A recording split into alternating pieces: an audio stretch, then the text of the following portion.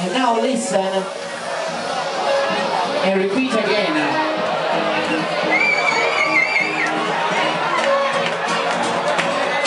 Do you know La conoscete questa, Sistiana?